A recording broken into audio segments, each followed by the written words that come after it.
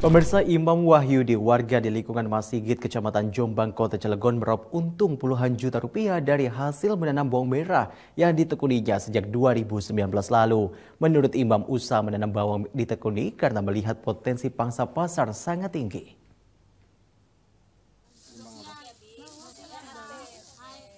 Imam Wahyudi, seorang pemuda asal Kecamatan Jombang, Kota Cilegon, yang berprofesi sebagai karyawan di salah satu perusahaan gudang penyimpanan kimia, tidak pernah menyangka bisa sukses menekuni bisnis bawang merah. Meski hanya menjalani bisnis ini untuk sekedar sampingan, semua berawal dari keinginan Imam untuk bisa memenuhi permintaan kebutuhan bawang merah di Kota Cilegon yang selama ini didatangkan dari luar daerah. Imam mengaku sudah menekuni budidaya bawang merah sejak lima tahun terakhir. Bermodalkan 200 kg benih di atas lahan seluas 2000 meter, Imam bisa menghasilkan 2 ton bawang merah dalam sekali panen. Untuk usaha ini, ia tidak sendiri. Imam memberdayakan buruh tani dari lingkungan sekitarnya. Kenapa kita memilih tanaman bawang ini? Karena bawang itu produktivitasnya bisa 10 kali lipat dari jumlah bibit. Imam menjual hasil panen bawang merah ke distributor di kota Cilegon sebesar Rp30.000 per kilogram. Ia bisa meraup untung bersih 30 juta rupiah atau sekitar 50% dari total penjualan.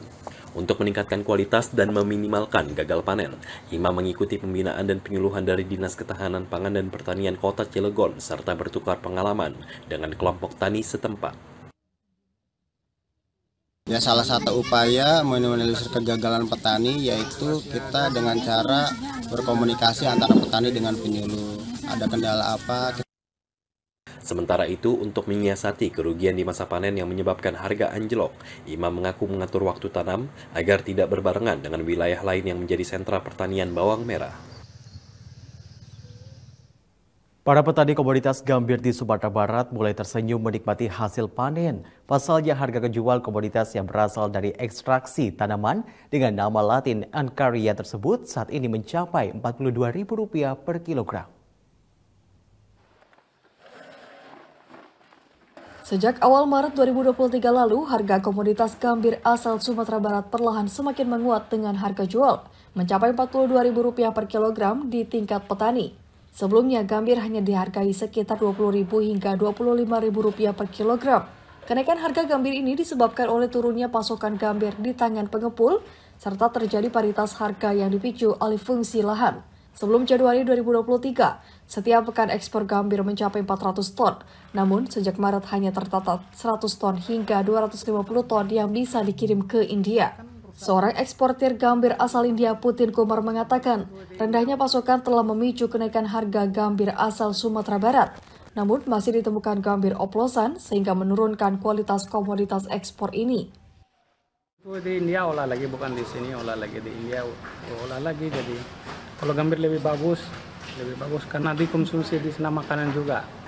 Di India untuk makanan juga kalau kita campur di sini pupuk atau apa di sana jadi orang mati jadi.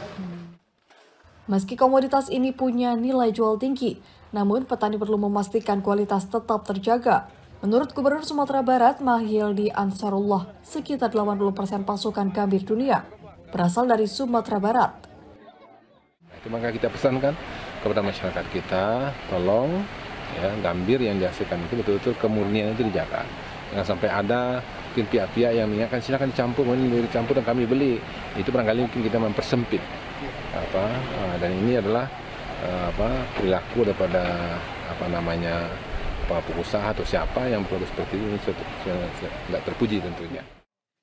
Pemerintah Provinsi Sumatera Barat tengah mengupayakan pengolahan katekin yang diperoleh dari ekstraksi daun gambir sehingga harga komoditas ekspor ini dapat meningkat. Selain India, pasar ekspor gambir Indonesia juga merambah ke negara Jepang, Pakistan, Filipina, Bangladesh, dan Malaysia.